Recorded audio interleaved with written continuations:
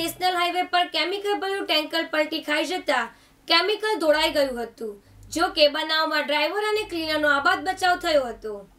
મોડાસામાં ગઈકાલે રાત્રે નેશનલ હાઈવે પર કેમિકલ ભરેલું ટેન્કર પલટી ખાઈ ગયું હતું. ટેન્કર પલટીને આડું થતા તેમાંથી કેમિકલ લીકેજ થતા નેશનલ હાઈવે પર ઢોળાઈ ગયું હતું.